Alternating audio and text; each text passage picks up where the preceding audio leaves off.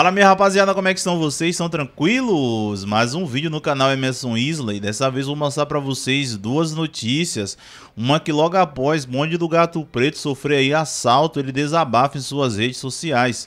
Também vou mostrar para vocês que Natan quase para um show devido a uma briga, vem entender o caso. Mas antes de o assunto, eu gostaria de pedir para você que está chegando aqui agora, primeiramente, seja bem-vindo ao nosso meu canal. Não se esqueça de se inscrever aqui embaixo, ativar o sininho de notificações e, é claro, deixar o seu like para você ser lembrado toda vez que eu postar conteúdos novos aqui. Lembrando a todos que este é o canal de entretenimento, onde eu trago notícias, polêmicas, histórias, curiosidades e muito mais. Pois é, rapaziada, antes de o conteúdo, eu gostaria de desejar a todos vocês aí do canal Emerson Isley um Feliz Natal, que Deus possa abençoar aí é, cada um de vocês e todas as suas famílias.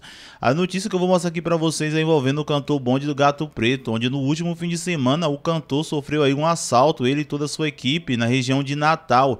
E através de suas redes sociais, o cantor relatou como foi que aconteceu aconteceu, onde, segundo ele ali, ele ficou cerca de uma hora e meia sendo refém, onde levaram pertences de sua equipe, é, dinheiro e tudo mais. Eu vou mostrar para vocês aí o desabafo dele. Fala galera, boa tarde, como é que vocês estão? Tudo bem? Não sei se vocês lembram, mas eu fiquei dar uma explicação aqui a vocês do que teve ocorrido com a banda aí no, no, no último final de semana, né? Então foi o seguinte, semana passada a gente teve alguns shows na região do Natal, e algumas cidades ali, círculo vizinho de Natal, certo? E, nós, e no nosso penúltimo show, quando a gente terminou de concluir o penúltimo show, é, a gente foi roubado, certo?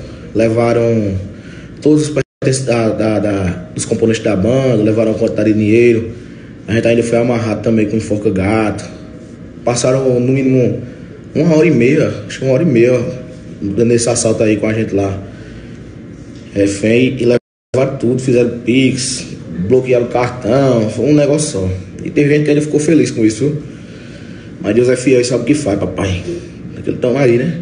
Final de ano não tá muito favorável não, mas estamos aqui. Deus na frente sempre. Pois é, rapaziada, como vocês viram aí, Gato Preto desabafando sobre essa situação que aconteceu com ele. Muito lamentável e deixa aqui embaixo nos comentários sua opinião sobre esse caso. E outro assunto que eu resolvi mostrar aqui para vocês é envolvendo o cantor Natan. Está circulando um vídeo nas redes sociais, mas precisamente lá no TikTok. Eu nem sei onde foi esse show dele, onde ele estava cantando de boa ali, velho. Rolou uma briga, ele parou o show e começou ali conversar, falar algumas coisas e tal. Eu vou mostrar para vocês esse momento de manhã, a gente passou dois anos numa pandemia para vir duas pessoas estragar a festa. Eu acho muita injustiça.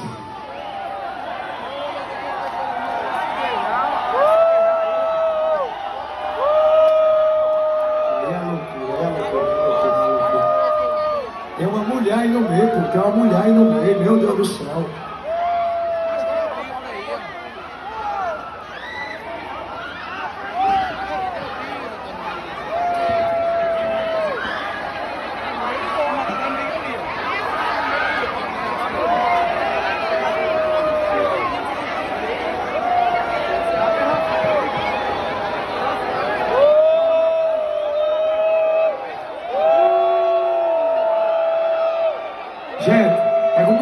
Que eu vou ter que dizer que eu vou ter que parar a festa por causa de duas pessoas.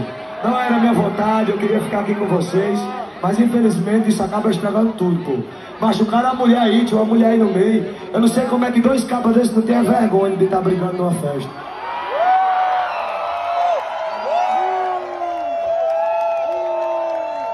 Pois é, rapaziada, como o Natan falou ali, velho, é, passamos diversos é, meses aí parados, sem shows e tal. Aí quando os eventos começam a voltar e tem gente que vai lá e começa, vai pro show só pra brigar e meio que tirar a atenção ali do cantor, porque é impossível não tirar sua atenção. Mas enfim, deixa aqui embaixo nos comentários sua opinião sobre esse caso de Natan, pois o comentário ele é super importante. Pois é, gente, esse foi o vídeo de hoje, trazendo essas duas notícias rápidas para vocês. Eu espero que vocês tenham gostado.